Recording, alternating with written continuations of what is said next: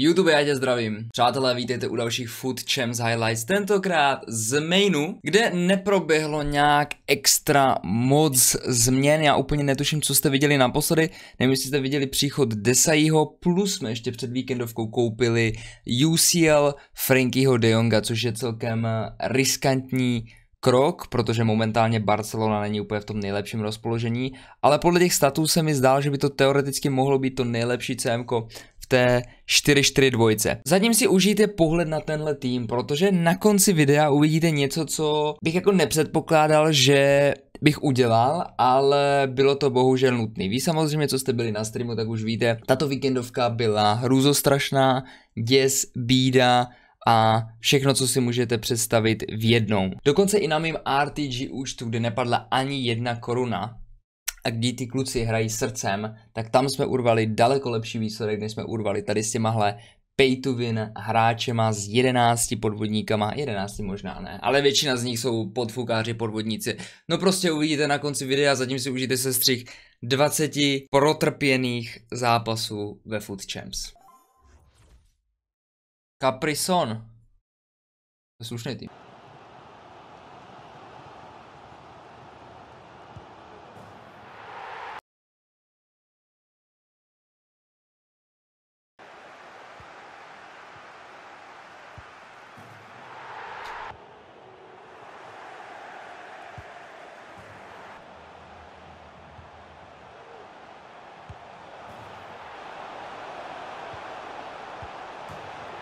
Kante tak vlastně zachycený přihrávek, jo.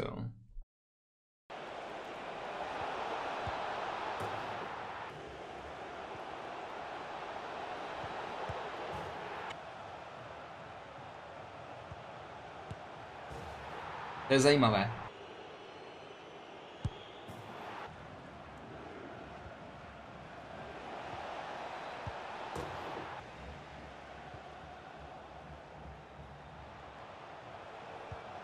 Billy! To byl nejlehčí lob jako na světě, pila.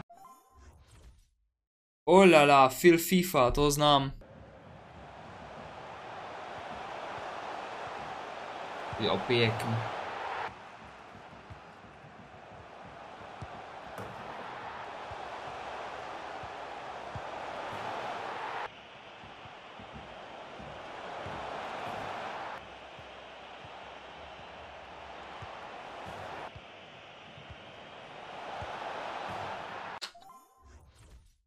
Ježíš Fekir zase ty.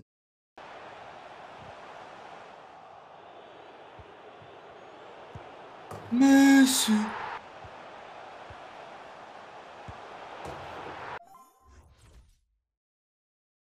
Timo Werner.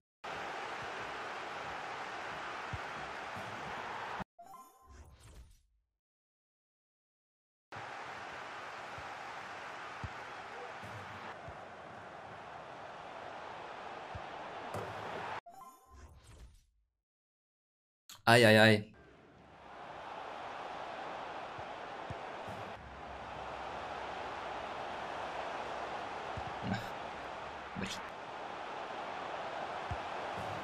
Byl dán Mezi.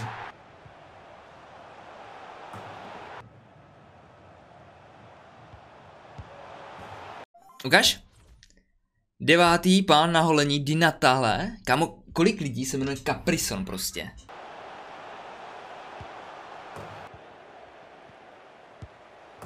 De Jong a ofenzivnější je ten Kunku.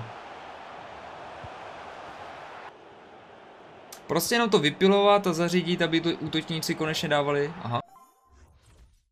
Eric Cantona. Přímě nevím, za co Kazery hraje.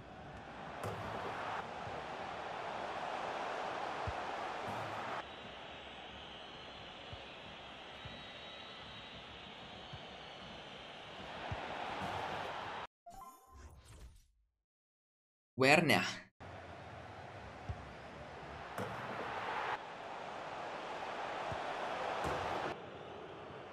Ale musíš. Akorát, že ten gameplay je naprosto otřesný. Kimmich, Sané, Ljungberg. Se zbleju.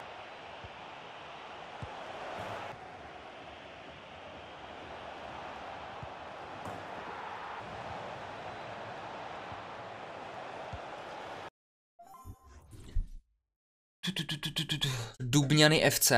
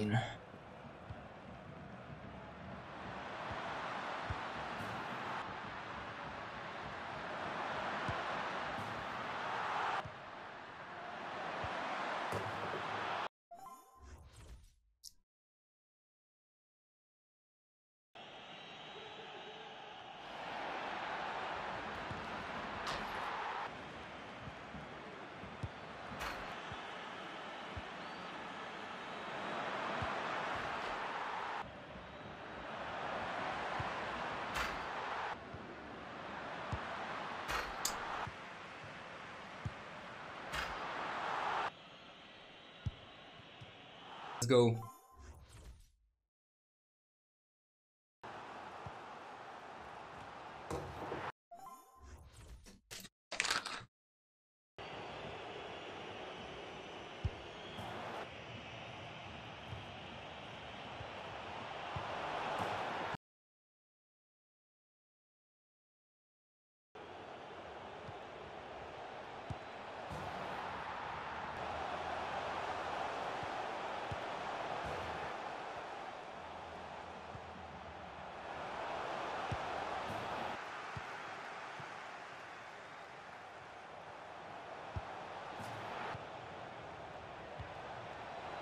Co je to? Nebyl?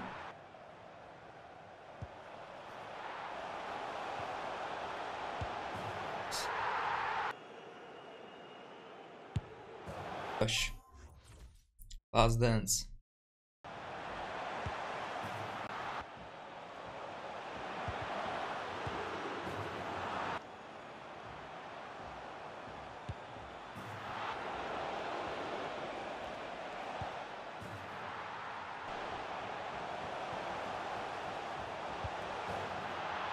Nevím. GG's. Tak jste to viděli přátelé, je z toho bohužel jenom rank 2 a museli jsme podniknout patřičné kroky, protože tohle už se nemůže opakovat. Já jsem celkem i rád, že se to stalo, protože konečně jsem dostal ten správný podnět k tomu, abych se zbavil hráčů, který jsem hrál z toho důvodu, že jsem je prostě musel hrát, že byli neobchodovatelní. Ano, mluvím o Messim, protože já už na Messiho nadávám asi tři týdny a furt jsem se prostě dostal k tomu, abych ho vyhodil z té sestavy. Nicméně, nezůstal kámen na kameni po téhle víkendové lize uh, na main účtu a takhle momentálně vypadá ten tým. Hakimi, Marquinhos, Bape, Pele. Tihle jediní čtyři hráči zůstali. Ale tu jedenáctku doplnil Inform z Češny, Hero Cordoba, zkouším tady tohle Cordobu, protože ano, Ono se zdá 173 cm, nižší, vyšší, perfektní, ale spíš k té výšce. Co se týče té výšky, tak taky si nejsem úplně jistý, tím nikdy jsem nehrál tak malýho stopera, ale koukal jsem se na ty staty, defenzivní staty, co se týče i fyziklu, tak má úplně perfektní, protože má jako výskok 94 hlavičky, 92 a on jako opravdu vyhrává ty hlavičky, co jsem měl možnost zkusit, protože já už pár dní ten eh, tým mám, takže už několik zápasů jsem s něma odehrál. Inform Teo Hernandez ze série A, Uh, došel Baby Patrick Vieira, protože prostě hledal jsem jistotu. Hledal jsem jistotu ve středu zálohy, Frankie de Jong byl naprostý podvodník, fakt jako to byl zloduch. Jestli Frankie de Jong má na v in-game statech 93 krátkou přihrávku, tak já na bench press zvedám 322 kg. To je takovej fake stat u toho De Jonga a hrozný podvodník, takže přišel někdo, komu bych svěřil svoje děti a to je Big Boy Patrick Vieira. Každou FIFU je vynikající, tuhle bude taky perfektní. Dále tady máme Nkunku, kterýho jsem udělal ze SBC, ten už hrál v průběhu té víkendovky, ale došel na posledních pár zápasů, takže v kooperaci s tím Věrou, kdy Kunku je ten útočnější, Věra ten defenzivnější ve 4-4-2 na CMK, si myslím, že by to mohlo fungovat. Bape, to už jsem říkal, ten zůstal. Konečně jsem dovedl Neymara místo Messiho, protože hrozně mě štvalo, že s Messim nemůžu nikomu utéct, je slabý v soubojích, to ne, že by byl Neymar nějak silný v soubojích, ale přeci jenom je rychlejší, má 5 star skill moves a nemám tam svázaný ruce s ním. To stejně jak na levé straně jsem neměl svázaný ruce s Bapem, protože tam rychlost, uh, síla, 5 star skill moves, tak to stejný už mám konečně i na té druhé straně. Messiho jsem hrál fakt jenom z toho důvodu, že mi bylo líto uh, posadit neobchodovatelného hráče za nějakých 800-900k, nevím kolik momentálně Messi stojí. Těžko říct, jestli se někdy vrátí do základní sestavy, je to možný, nevylučuju to, uh, jestli by se třeba nějak, já furt si myslím, že Messi je stále v metě, že se s ním dá hrát a je to jako jedna z nejlepších karet, rozhodně pro někoho je Messi lepší jak Neymar ale pro ten můj styl hraní, pro tu moji formaci a pro tu moji myšlenku hry je pro mě daleko důležitější mít tam rychlého hráče s 5 star skillama, než techničtějšího hráče, pomalejšího hráče s lepší střelou, s lepší přihrávkou. Já mám radši prostě ty pacey a pacey hráče a ty skillery. No a došel Davide Ginolla, 5 star, 5 star. Viděl jsem, procházel jsem několik sestav od kluků tady z české scény, ať už, na pros, ať už klidně i ze světové scény. A normálně z 90% jsem viděl, že tam prostě toho Ginulu mají, tak jsem si říkal, OK, ale Krajf byl vynikající, nedám dopustit na Krajfa, ale bohužel někdy ty coiny jsem vzít musel a už jsem opravdu nechtěl hrát toho Messiho, takže jsem investoval tam, investoval jsem tam a chtěl jsem investovat ještě tam a prostě jsem to chtěl celý tak nějak jako pozměnit, vystužit, možná víc vybalancovat. No a naskytla se možnost prostě v kooperaci s Pelem hrát tam toho a říkám proč ne, ale mají podobný staty s Krajfem, Krajf se určitě bude líp hýbat, ale Ginula zase bude silnější, má 5 star, 5 star, uh, což měl i samozřejmě i Krive, ale má dobrou sílu střely, obecně ty physical staty vypadají dobře, dribbling v pohodě, přihrávky taky v pohodě a co jsem tak zjistil za těch pár zápasů, tak je celkem buglej. Fakt jako něco, něco speciálního v tom Ginulovi je a je o 2 miliony levnější jak Krive a já ty další dva něco miliony můžu použít na vylepšení toho týmu, tak jsem se prostě rozhodl. No a Pele, ten zůstává, to je zatím, ten je zatím jistota. Uh, uvidíme, jestli nás třeba někdy v budoucnu opustí nebo ne, ale myslím si, že, nebo předpokládám v této chvíli, že asi ne. Líbí se mi ten partnership. Hrál jsem teďka, vlastně včera jsme hráli Kuligu top 16 o postup do top 8 GL, GSL, GLS formát, teď si nejsem úplně jas, jistý, jak to je, winner a loser bracket. A tam se dařilo, postoupil jsem do top 8 tady s tímhle týmem, takže to byla dobrá změna. No a doufám, že podobný disaster z téhle poslední víkendovky už se nebude opakovat a tihle chlapci už mě nesklamou a minimálně o ten jeden, dva viny prostě přečí ten RTG tým. Ale tady jde krásně vidět, že to prostě není o coinech, že na tu víkendovku stačí úplně simple basic team za 800-900 jako máme my na RTGčku.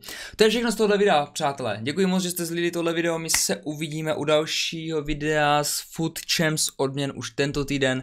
Mějte se zatím krásně, budu se na vás těšit eh, na streamu na Twitchi, anebo tady u dalšího videa na YouTube. Zatím, ahoj.